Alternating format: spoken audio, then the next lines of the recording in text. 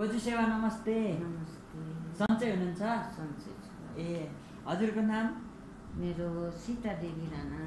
सीतादेवी ना राणा। हजुर। अहिले काठमाडौँ काठमाडौँ? ज्ञानेश्वर।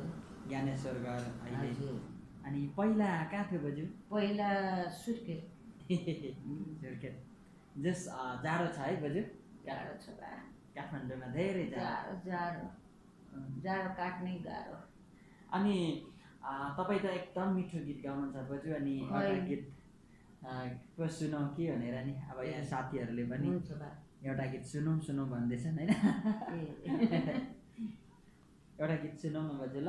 पाकेले पार्यो आज कलेसुमा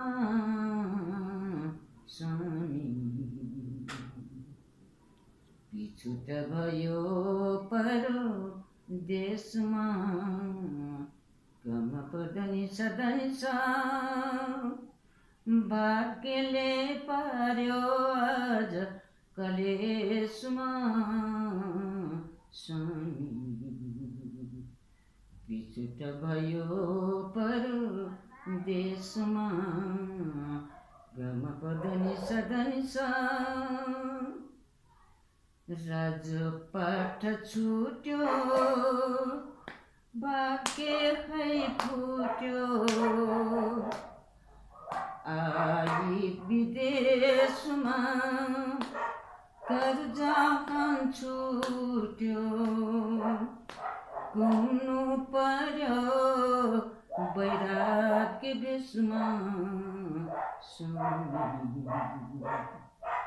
बेसमा पिछुट भयो परो देशमा। कहाँ पुदनी सदनी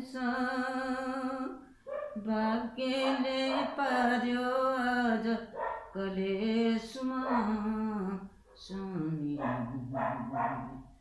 पिछुट भयो परो देशमा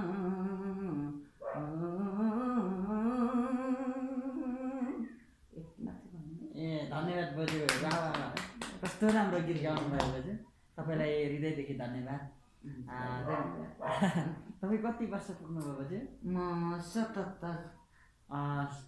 सतहत्तर वर्षीय सीतादेवी राणा। बोजू एकदमै मिठो गीत गाउनुहुन्छ।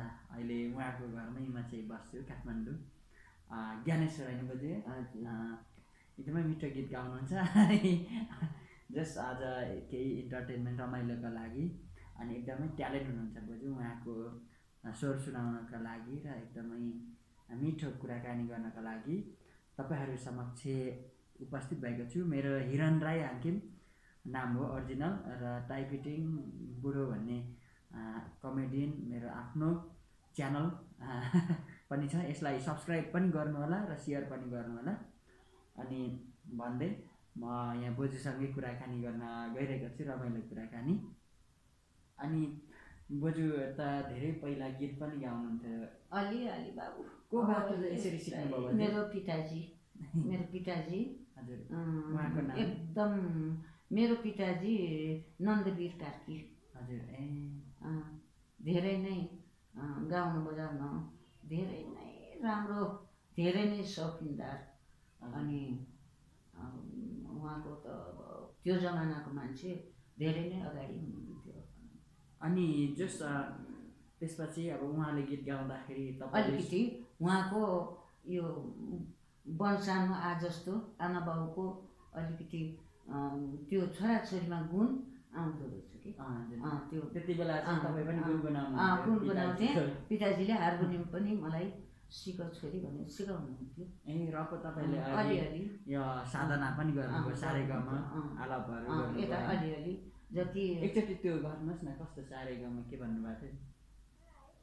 त्यो अहिले नभनौँ। अलिकति सुन्नु मन छ बजु मिठो। सारे ग म पद निसा सनि द प म गरे स सारे ग रे ग म ग म प म पद पद नि ध नि सा साने साने त्यो बिचमा अब यस्तो ठिक छ एकदम उम्, अँ, उता म पद पद नि धनी सा।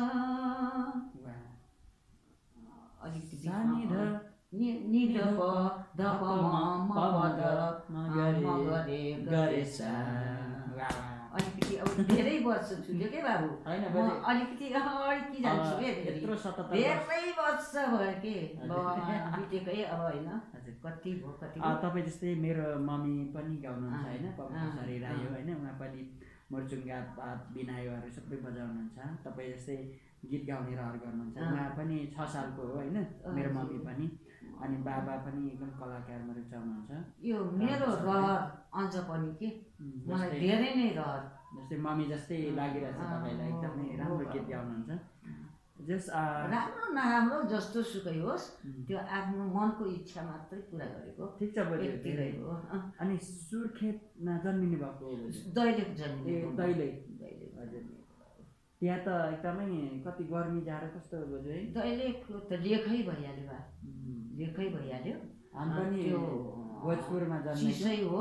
तर त्यो बेला उमेर थियो। र त्यहाँको जाडो पनि हामीले त्यहाँको जाडोले पनि हामीलाई छुन्थेन कि? अब काठमाडौँको जाडोले त जुनसुकै बेला पनि थर थर हजुर।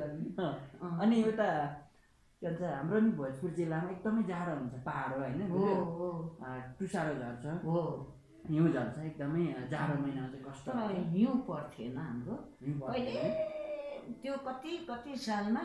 एक साल हामी अलिक सानै भए बेला परेको थियो त्यति अलि माथि माथि पर्छ बजारमा पर्थेन हामी बजारमै जन्मिएको ए है। हजुर। जस बजारमा जन्मिनु भएको रहेछ। हजुर। जस अहिले पनि काठमाडौँ ठुलो सहर बजारमा। ठिकै छ भाइ। मान्छेको कहाँको दाना पानी खानु छ? मान्छेलाई त्यो दाना दानामा मान्छेको नाम पनि लेखिएको हुँदो रहेछ कि। भनौँ न मान्छे कहाँ देश विदेश गएर त्यहाँको मानव खान पुगेको हुन्छ। होइन? त्यो मान्छेको एउटा भाग्यमा त्यो दाना दानामा नाम लेखिया छ कि जस्तो लाग्छ कि मलाई।